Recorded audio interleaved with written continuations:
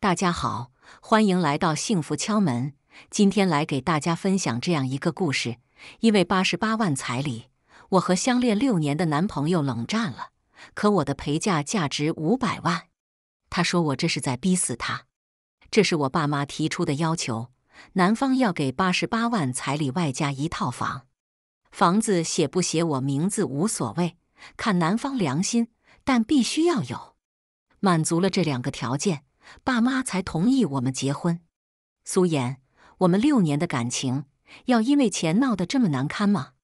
我看着他，我们家不是白要你的彩礼啊，我有陪嫁的，一间商铺，两套公寓，婚后收租的钱都归我们俩，并且我现在开着的这辆宝马也归我们。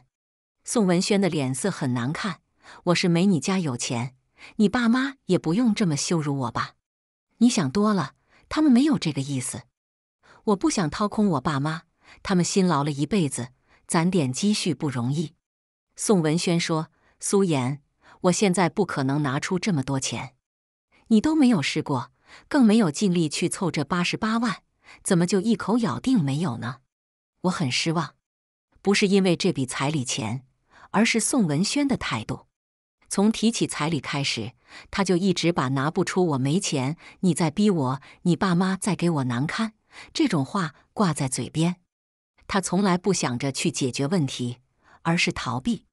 我想，如果他带着满满的诚意登门拜访我爸妈，好好的长谈一次，拿出男人的担当和责任来，说不定我爸妈就松口了。宋文轩没有这样做，他只是不停的跟我吵。推着我去跟我父母沟通，他却不露面。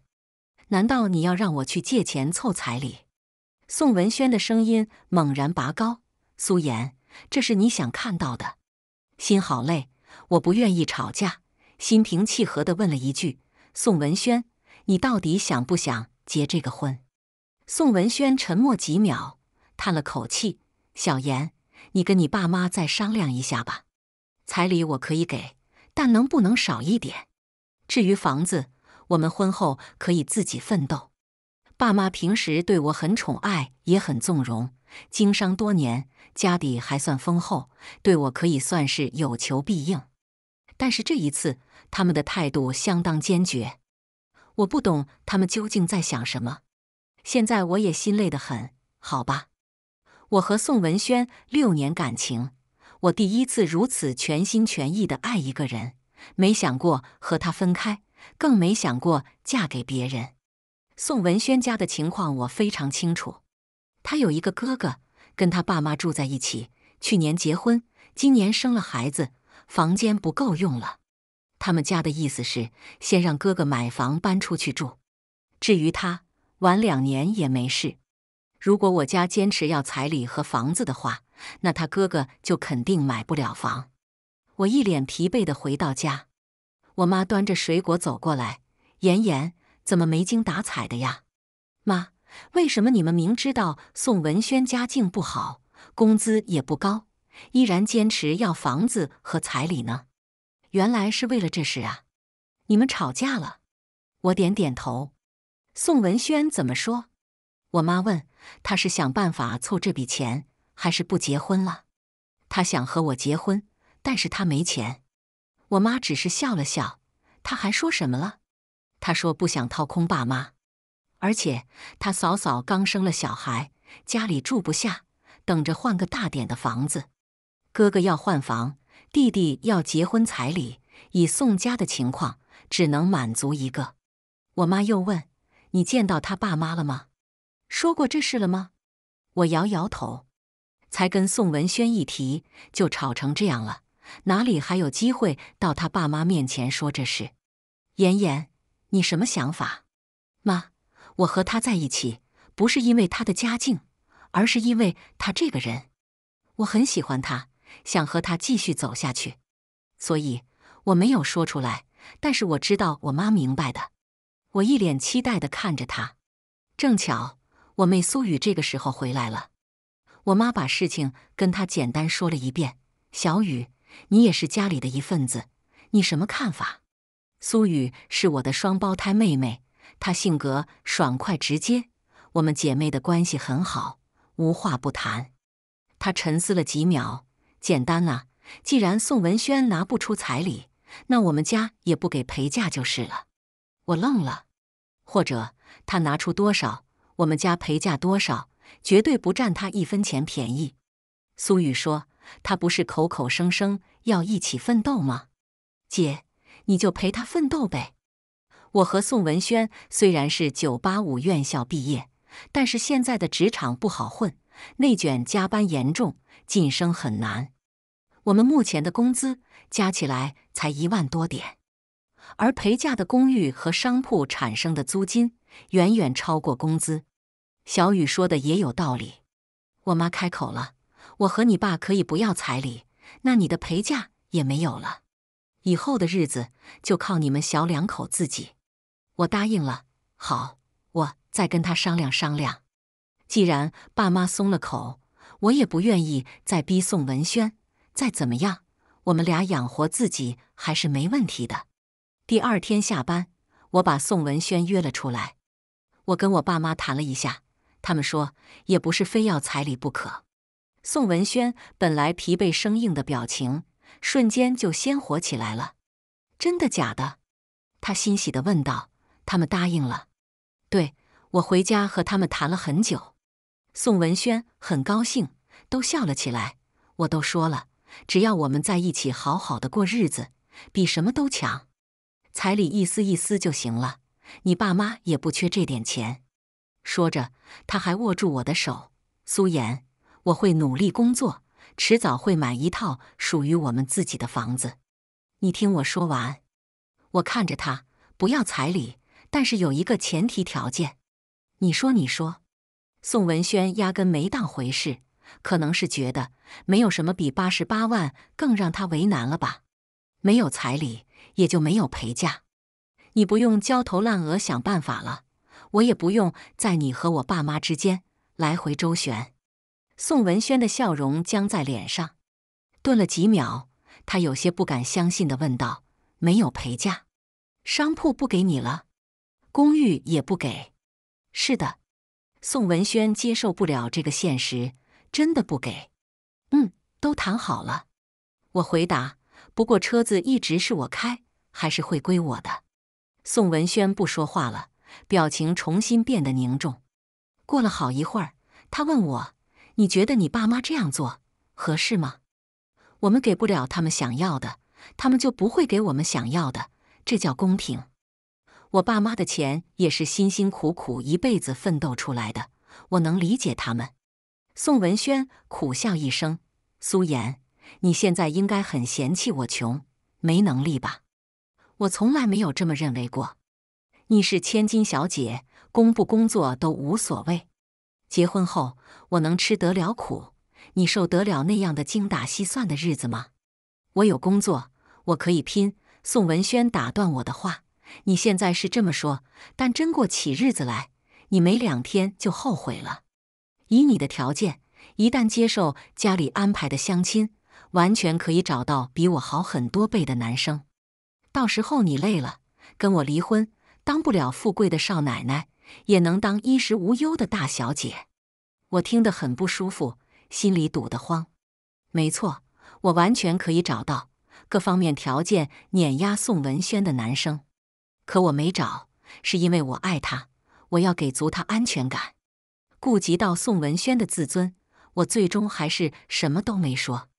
宋文轩猛喝了一大口水，咕噜咕噜的。苏妍，你爸妈不给陪嫁，那留着给谁？你妹妹苏雨吗？这我就不清楚了。反正你们家就两个女儿，又没有儿子，不给你就是给他。看着苏雨过得那么好。天天躺平收租就行，你心里会平衡吗？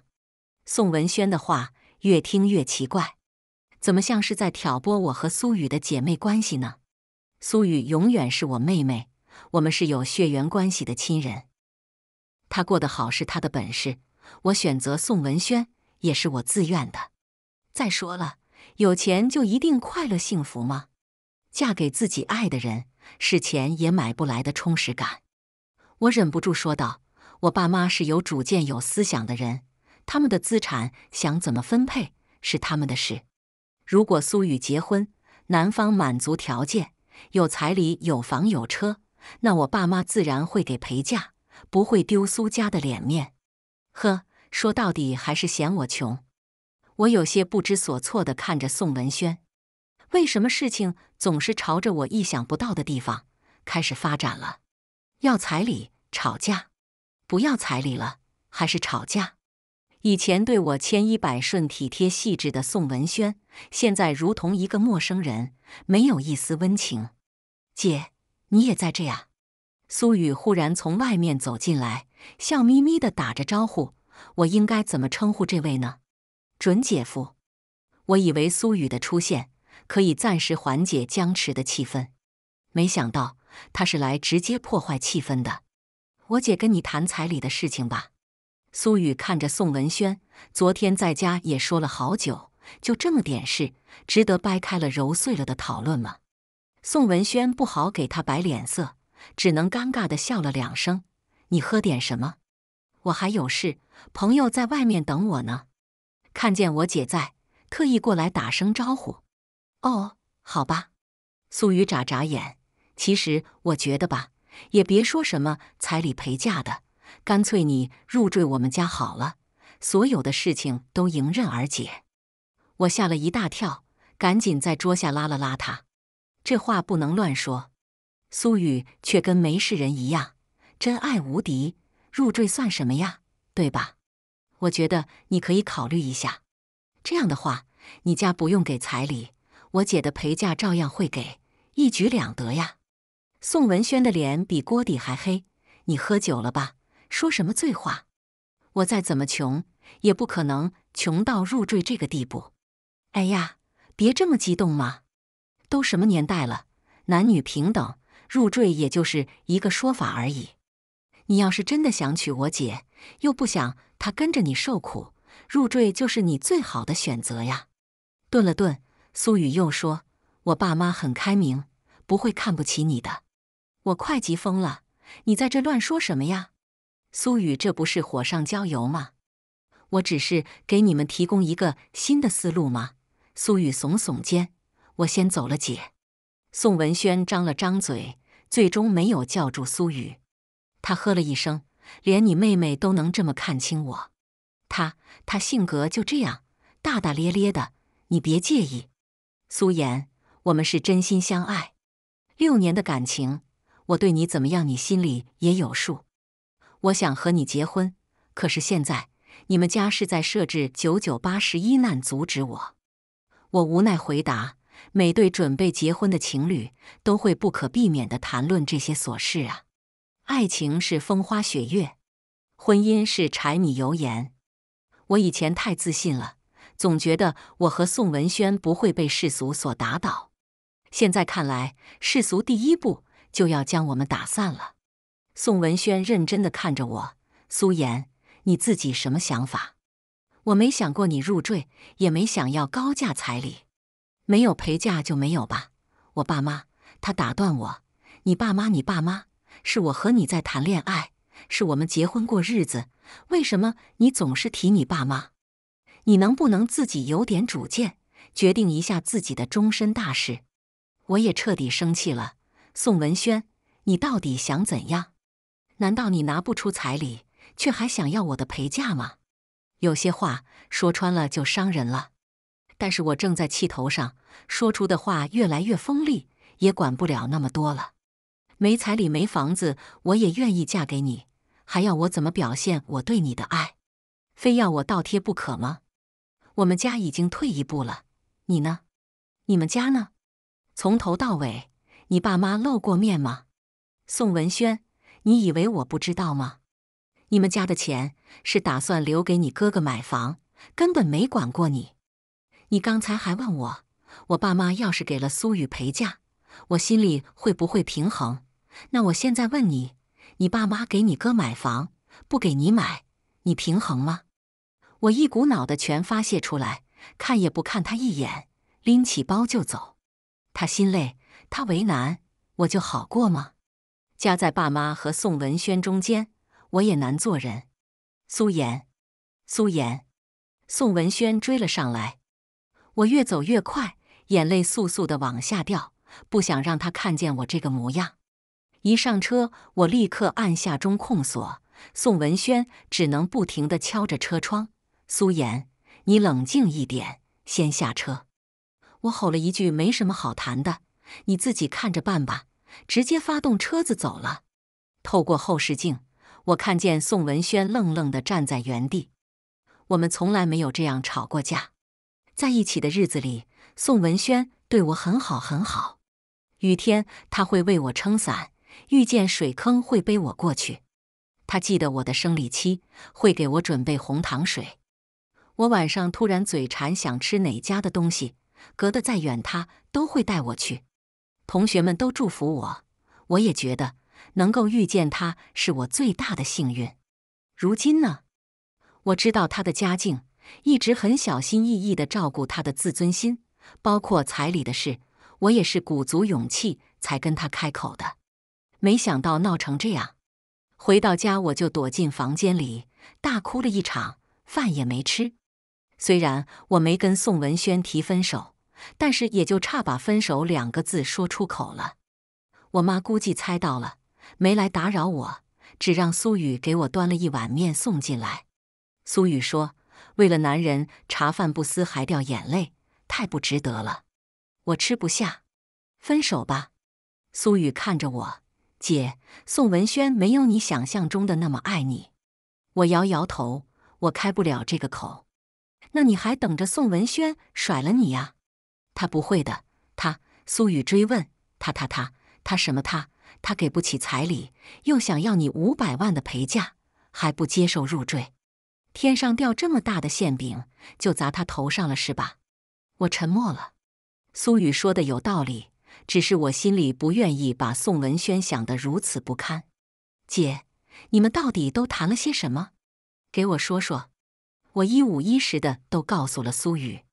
刚说完。苏雨还没来得及开口，我爸突然一把推开门：“行了，以后你也别跟宋文轩再见面了。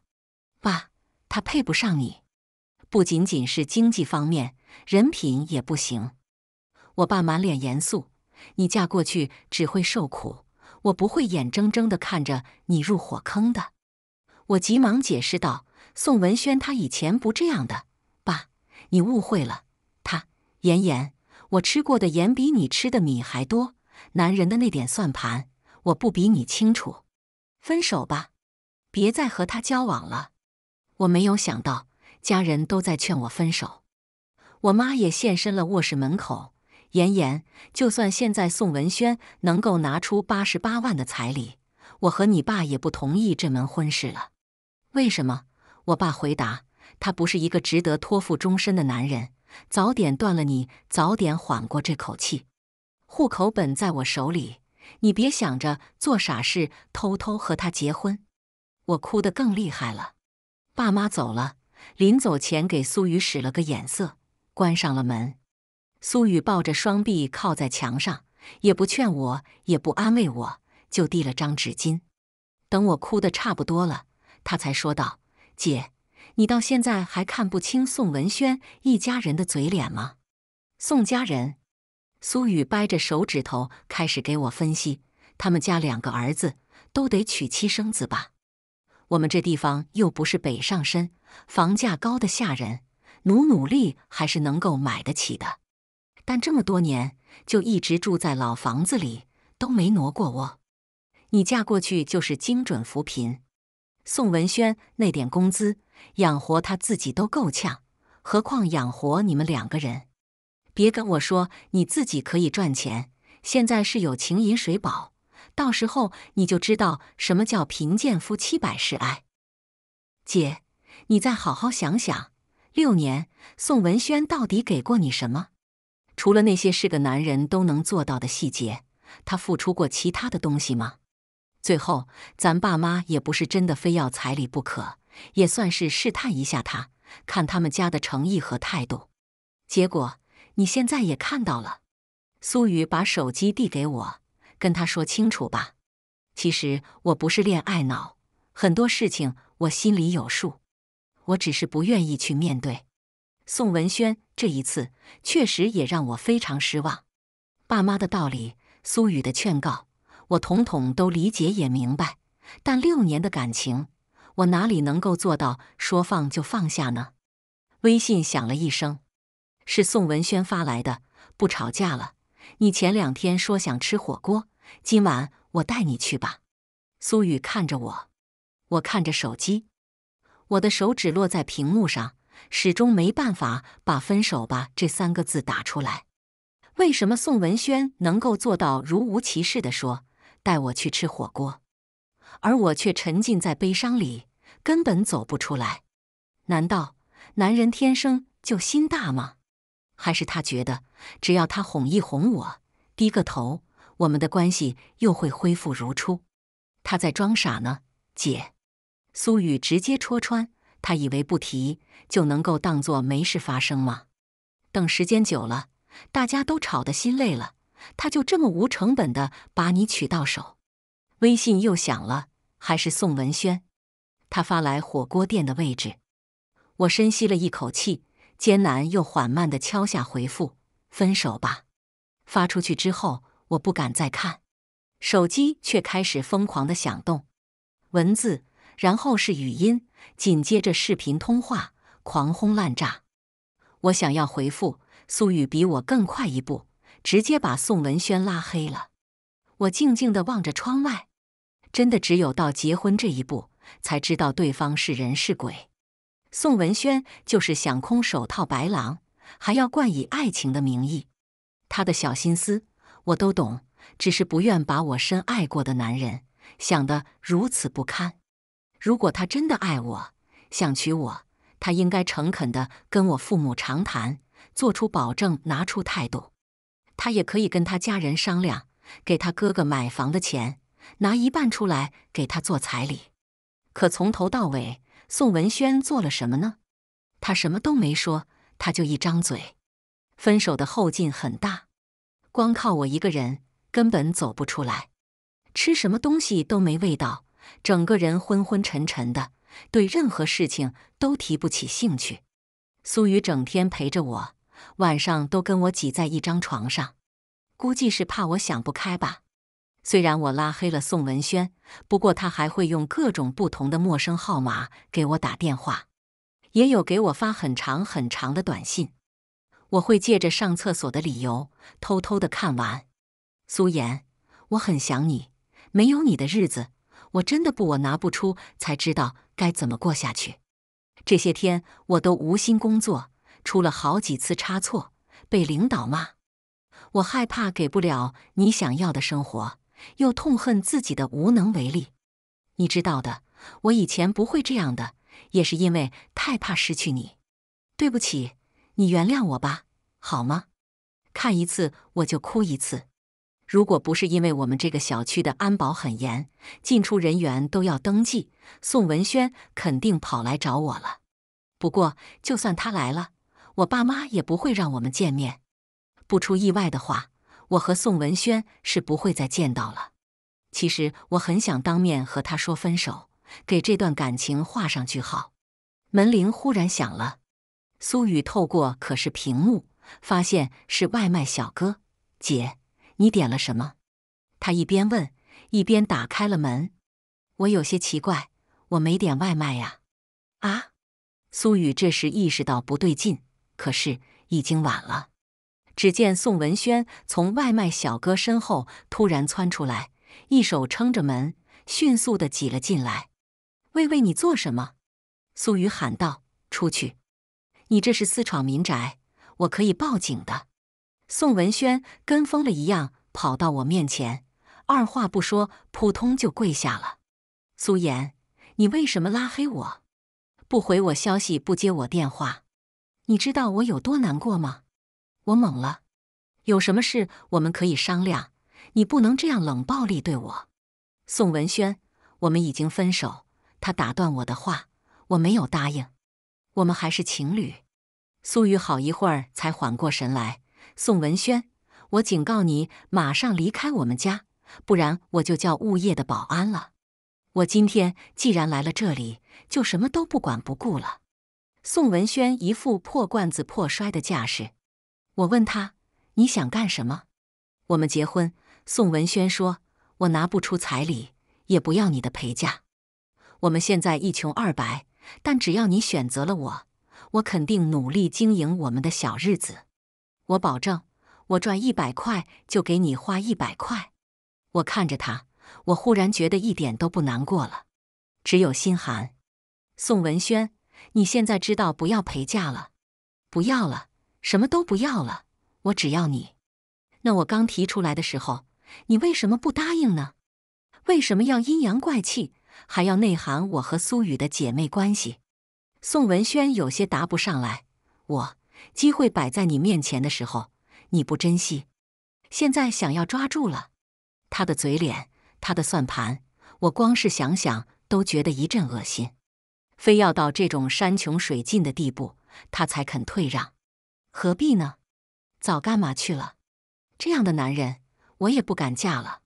算了，宋文轩，我们好聚好散吧。我深吸一口气，我们不可能再在一起了。他不敢置信地看着我，苏妍，你真舍得？是你先放弃了我，放弃我们的感情。我刚说完，门铃又叮咚叮咚的响了。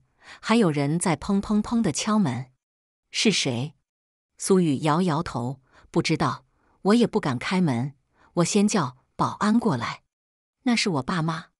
宋文轩说：“来谈我们结婚的事情。”我真是满头的黑人问号。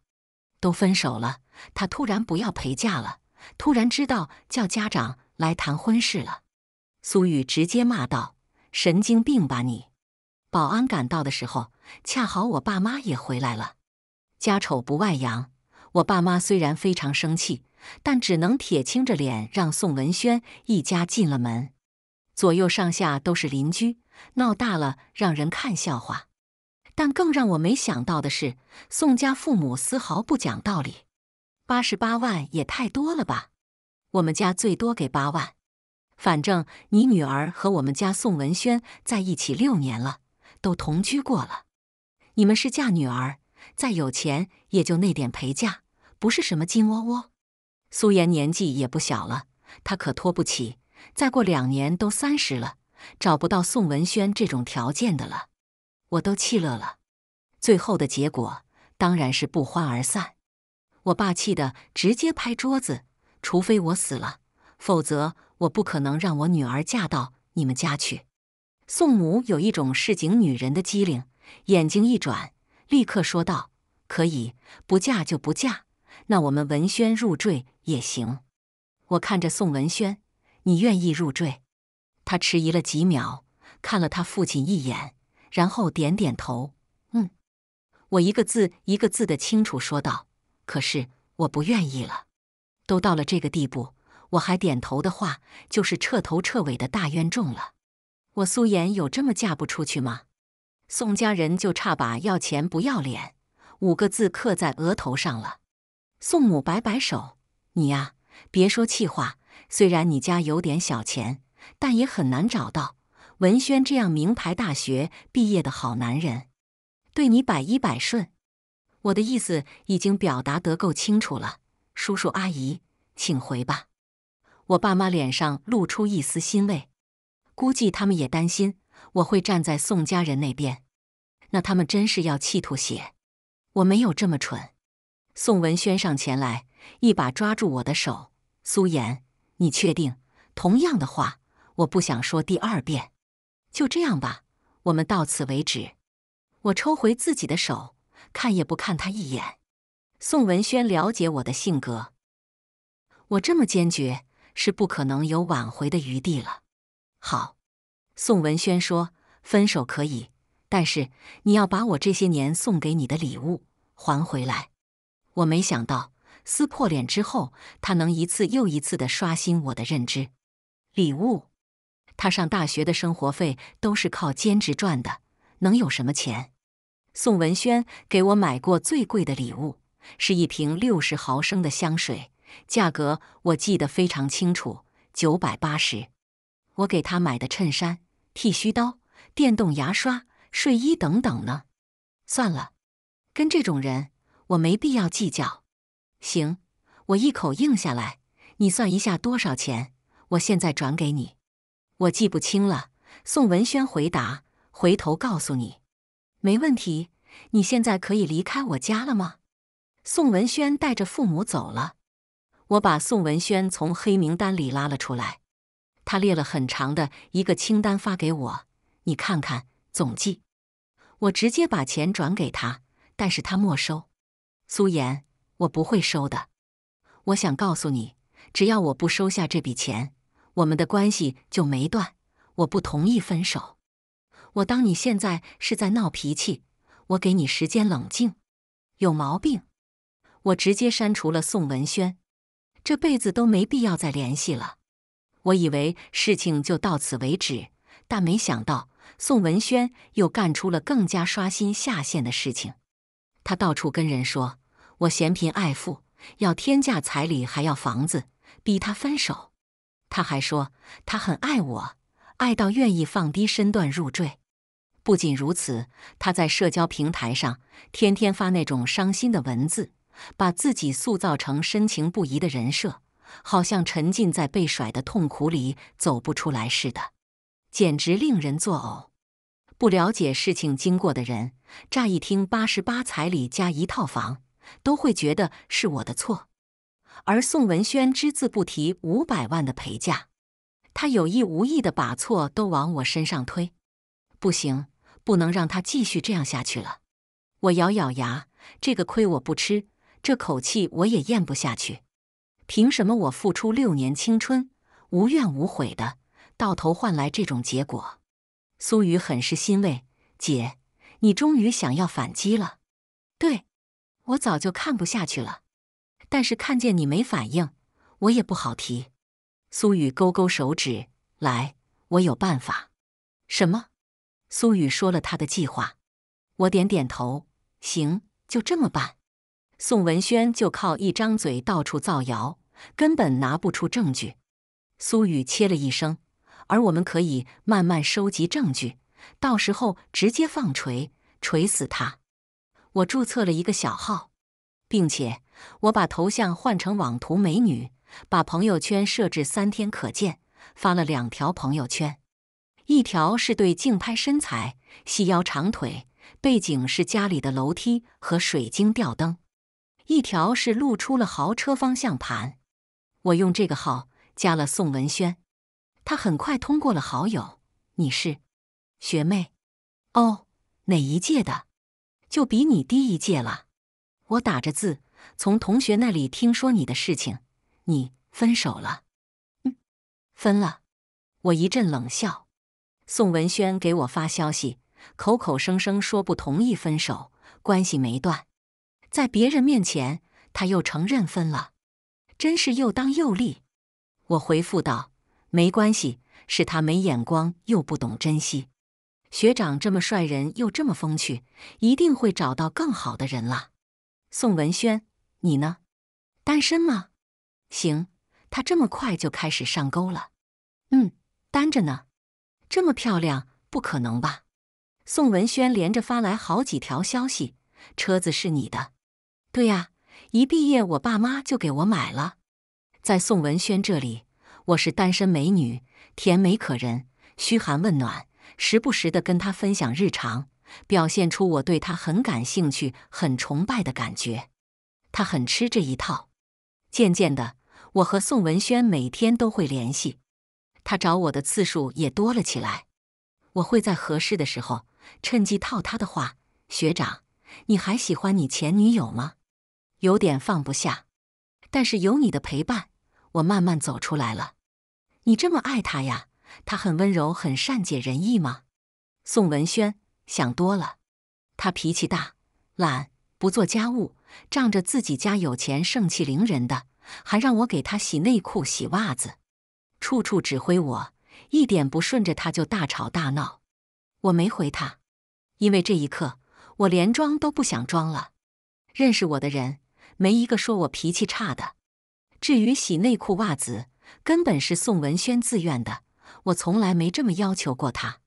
宋文轩见我没动静，又发来消息：他跟你没法比。我和宋文轩聊得非常愉快，已经有些语言上的暧昧了，互相起了亲昵的称呼。他很想见我，发了几次邀请，但是都被我搪塞了过去。一直这么拒绝他也不行，于是我主动给他打了语音电话过去。我不吭声，给他发消息：我感冒了，嗓子有点哑，就不说话了。但是我想听听你的声音。他非常积极，态度十分热情，故意用那种要死不活的气泡音说话，像是含了一口痰，还觉得自己的声音十分磁性。聊了没多久，他那头传来另外一个人的声音：“文轩在干什么？哥，有什么事？又在跟女孩子聊天吧？”他哥说：“这段时间天天看着你捧着手机傻笑，这是又有好消息了。”八字还没一撇呢，他哥凑了过来，似乎是想抢手机，让我看看长什么样子。哥，你别闹，嗨，迟早都是一家人，还藏着掖着做什么？美女呀，我们文轩可是很抢手的，他前女友啊，死活要跟他在一起，现在还纠缠他呢。宋文轩制止道：“你跟他说这些做什么？”他哥继续说了下去：“前女友倒贴五百万陪嫁，不要彩礼，不要房子，都想和他结婚。是我们家不同意，娶妻得娶贤妻，不是供了个祖宗，对吧？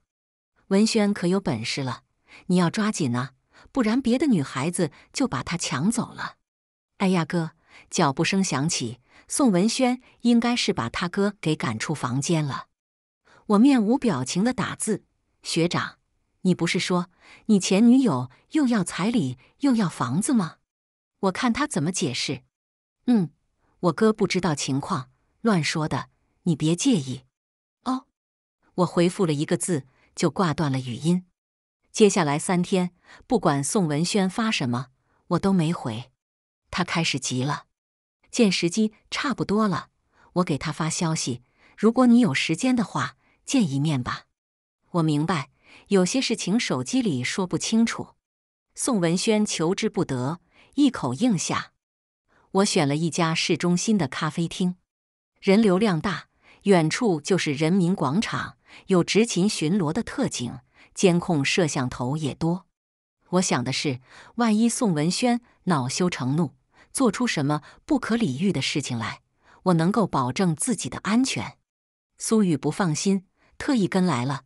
戴着口罩墨镜坐在不远处，我约的是下午两点，宋文轩准时到了。他给我发消息：“你在哪里？”我在上洗手间，你先坐，十九号桌。好，喝什么？你点的我都喝了。宋文轩发了一个宠溺摸头的表情包。我看着他坐下，扫码点了咖啡，捧着手机，嘴角还勾着笑意。一副得意又意气风发的样子，估计他以为没了我，他还能再找到白富美，而且比我温柔，比我体贴，比我嘴甜。呵，天上哪里有这种掉馅饼的事情？如果他没有到处散布谣言，诋毁我的名声，我怎么可能会做出这些事情？是吃饱了撑的吗？是宋文轩太过分了。我装作不经意的朝他那里走去。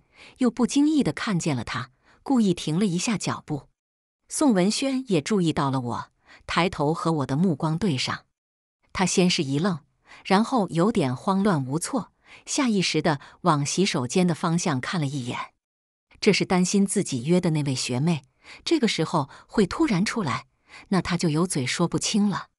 妍妍，宋文轩站了起来，你怎么会在这里？我不能来这家咖啡店吗？没，我是觉得太巧了。我点点头，确实很巧。听说你到处跟人说我甩了你，没有，是他们非要那么认为。宋文轩回答：“我给你发的最后一条消息，你还记得吧？我没同意分手，我们还是情侣。”我问道：“既然你还当我们是情侣，那你站得那么远？”嗯，我怕离近了。你会不高兴，还真是会找借口。一段时间不见，你倒是沉稳了。我笑了笑，之前看见我都是会立刻冲上来解释，让我再给你一次机会。宋文轩直直的看着我，好像很深情的样子。妍妍，这么久了，你想通了吗？通了，想得很通。宋文轩有些高兴，但是又流露出一丝担忧。真的吗？宋文轩试探性的问：“你原谅我了？”这个时候了，他还在权衡利弊。如果我点头了，那么他就甩了那位白富美学妹；我要是没点头，他还有学妹这条退路。这算盘打得真是噼里啪啦的响。我没出声，而是朝他走去，坐在了他的身边。他站着没动。坐呀，我说，杵着干什么？妍妍，我我还有点不习惯。宋文轩的眼睛隔三差五的就往洗手间的方向瞟一眼。生怕那位学妹出来撞见这一幕，到时候他的两条船都得翻。我故意叹了口气：“哎，现在连坐都不愿意跟我坐一起了，还谈什么感情呢？”没有，我宋文轩被逼得没办法，只好坐下。但是他没敢牵我的手，我却主动的挽住他的手臂。宋文轩一惊，下意识的想要抽回。但是很快又发现自己这样做不太好，只能僵在那里。我故意凑近他，宋文轩那边好像有个女生一直在看我们。他低着头，一动都不敢动。是是吗？对呀，他朝我们走来了。哎，宋文轩都紧张的咽口水了，飞快的抬头看去，但是没人啊。他愣了愣，妍妍，你是不是看错了？哦。是吧？不过你这么慌张干什么？都出汗了。嗯，没有没有。我冷笑一声：“你在等人吧？”没有。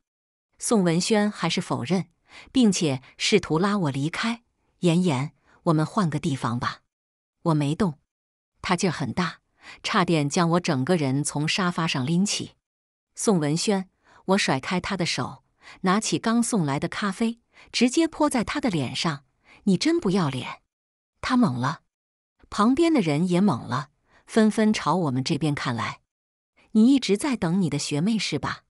开着豪车，市区三套房，爸妈是上市公司高管。我笑了，亲爱的宝贝，乖乖，这你撑起的真是亲热又肉麻呀。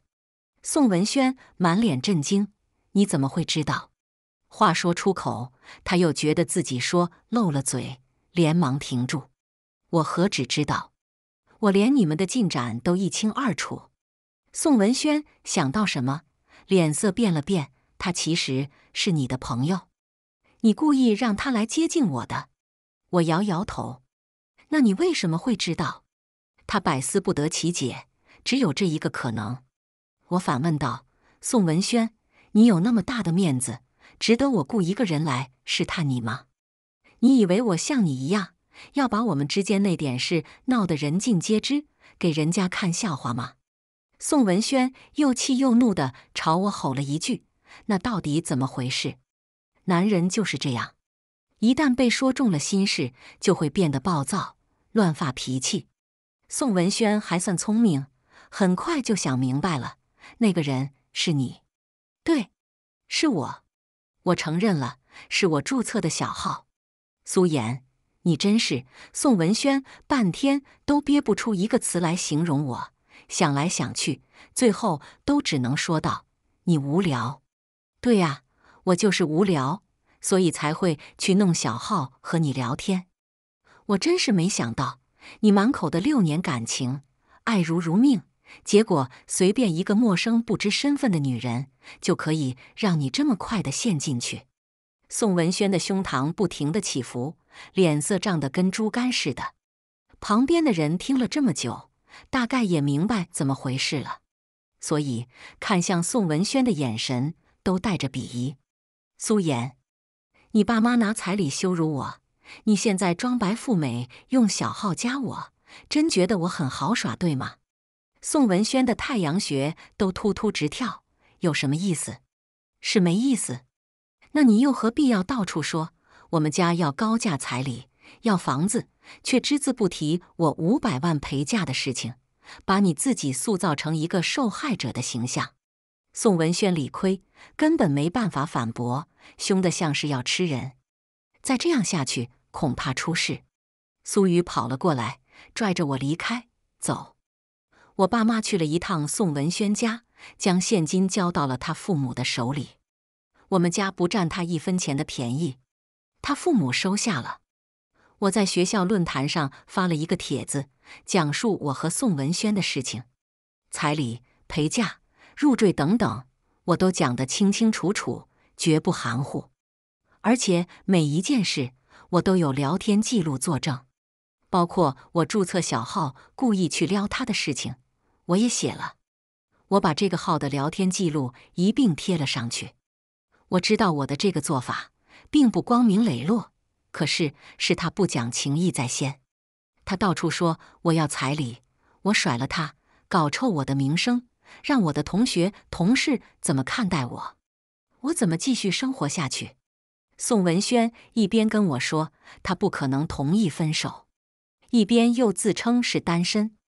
我不这样做，怎么撕得开他的真面目？